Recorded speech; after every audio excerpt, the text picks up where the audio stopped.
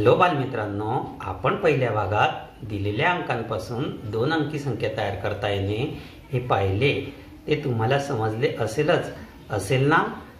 आता आपण दुसऱ्या भागात दिलेल्या अंकांपासून दोन अंकी संख्या तयार करता येणे व तयार झालेल्या संख्यांमधून सर्वात मोठी संख्या कोणती व सर्वात लहान संख्या कोणती हे ओळखता येणे हे पाहूया.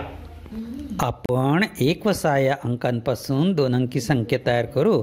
त्यानंतर त्यातील सर्वात मोठी संख्या आणि सर्वात लहान संख्या लिहू. मग एक व सहा या अंकांपासून सोळा व एकसष्ट या दोन अंकी संख्या तयार झाल्या. त्यातील सर्वात मोठी संख्या ही एकसष्ट आणि सर्वात लहान संख्या सोळा.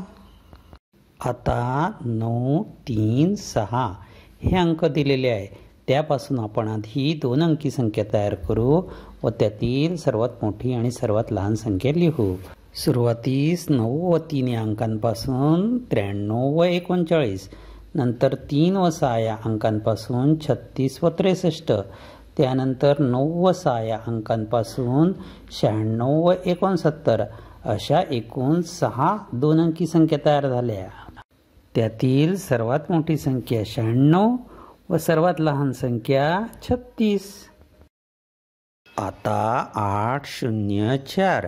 या अंकांपासून दोन अंकी संख्या तयार करू व त्यातील सर्वात मोठी आणि सर्वात लहान संख्या लिहू. आठ व शून्य या अंकापासून ऐंशी शून्य व चार या अंकापासून चाळीस तर आठ व चार या अंकापासून अठ्ठेचाळीस व चौऱ्याऐंशी अशा एकूण चार दोन अंकी संख्या तयार होतात.